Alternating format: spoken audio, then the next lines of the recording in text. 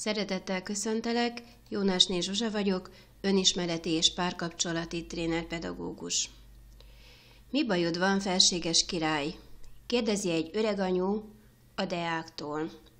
Hát az a baj, anyu, mondja a deák, hogy nem vagyok király, de mégis annak kell lennem.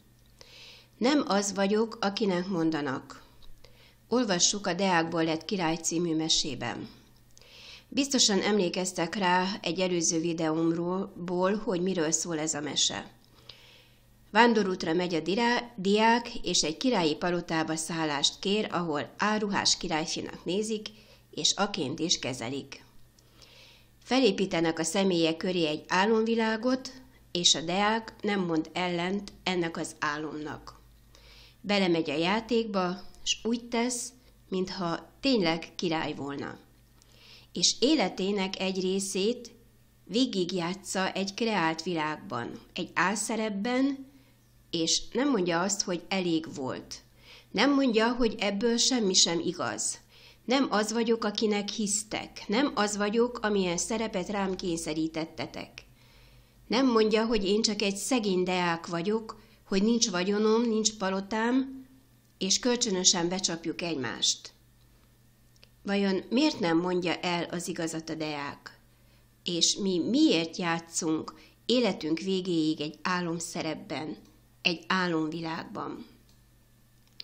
Egy látszólag irigylésre méltó ember önvallomását szeretném nektek felolvasni, nagyon tanulságos írás. Ezt a történetet Stephen Carter és Julia Sokol könyvében, a Segítség a párom narcisztikus című könyvben olvastam, és nagyon megkapott, és nagyon megfogott a mondani valója.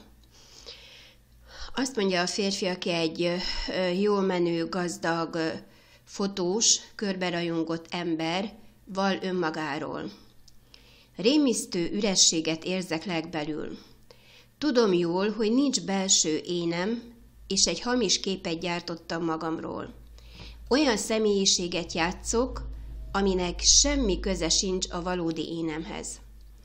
Egy kicsit olyan vagyok, mint önmagam karikatúrája. Azt hiszik rólam, hogy milyen szórakoztató, kedves, sikeres ember vagyok, hogy sokan érdeklődnek irántam, és hogy nagy hatással vagyok az emberekre. De ez mind nem igaz. Igazából azt se tudom, hogy mi érdekel.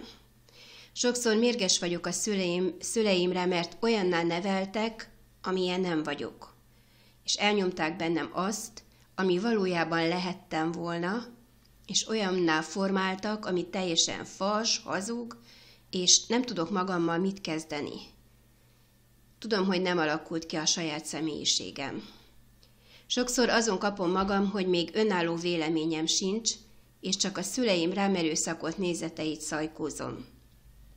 Ráadásul mindig felveszem annak az embernek a stílusát, akivel éppen együtt vagyok, és ilyenkor rájövök, hogy még jobban nem ismerem magam. Állandóan keresek valakit, akihez kapcsolódni tudok, de fogalmam sincs, hogy mit akarok tőle. A saját én képem annyira törékeny, hogy folyamatosan külső megerősítésre van szükségem.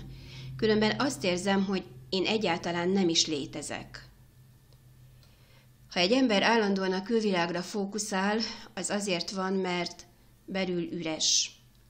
Nincs benne semmi más, mint félelem, bizonytalanság, rettegés.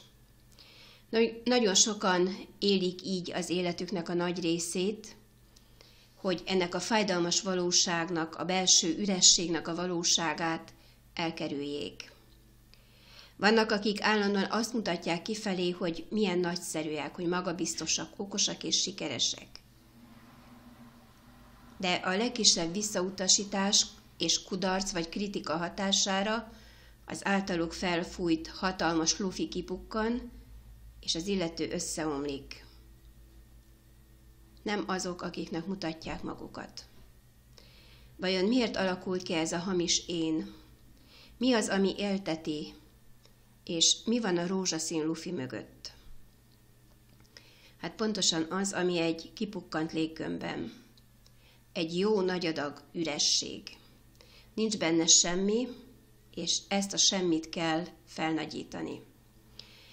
Nagyon sok ember még gyerekkorában elveszítette azt a képességét, hogy olyannak lássa magát, amilyen valójában. Önhibáján kívül képtelen a hiteles, a tartós és a reális énkép kialakítására. Ehelyett hamis illúziókat dédelget saját magával kapcsolatban, és folyton azt kutatja, hogy mit mond róla a külvilág, és csak akkor nyugszik meg, ha kívülről minden tökéletesnek látszik, mert belül ordít az üresség, és hiányérzet tátong benne. Elmondhatjuk, hogy a sokak által felfújt léggömb a hamis álomvilág mögött a reális énkép hiánya húzódik meg. És hogy miért nem tudjuk kialakítani a reális énképet, és mi akadályoz ebben, azt majd egy következő videómban fogom elmondani. Addig is szeretettel ajánlom nektek a Deákból lett király című mese feldolgozásáról készített előző videómat. Érdemes ezt is meghallgatni, elolvasni, elgondolkozni rajta, és számba venni, hogy mi mikor vagyunk olyan helyzetben, mint a deák, mikor hazudunk önmagunkról, mikor mutatunk nagyobbat, mint amilyenek vagyunk, és mit érzünk, amikor csak magunk nézünk a tükörbe. Mit látunk, kit látjuk, milyennek látjuk, és elégedettek vagyunk-e a tükörképünkkel. Köszönöm, hogy itt voltál, ha tetszett a videóm, akkor kérlek, lájkold, oszd meg, iratkozz fel a csatornámra, és vállak vissza a következő videómra. Sziasztok, viszontlátásra!